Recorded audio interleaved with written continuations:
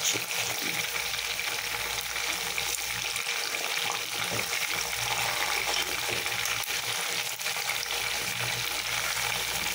nag-stress na gugutom.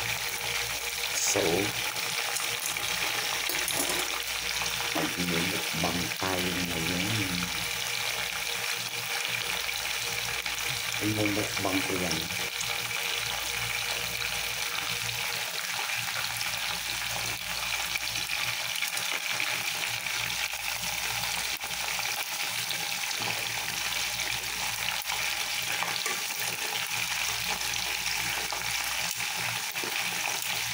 Ganyan lang may sistema ko.